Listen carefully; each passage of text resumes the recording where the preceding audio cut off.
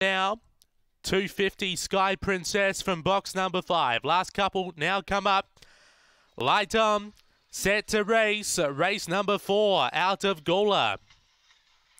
Away, Sky Princess began well towards the centre, is carving over, and Sky Princess opens up by two.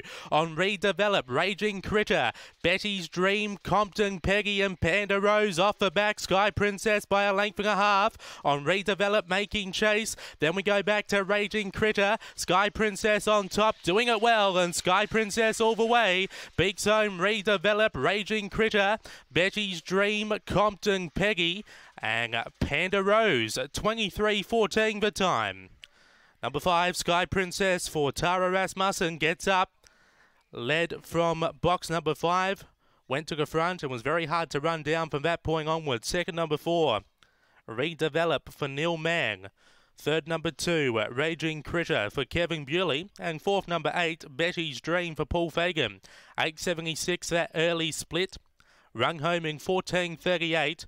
23-14 the time. 5, 4, 2, 8 your numbers after race number 4 out of Gawler.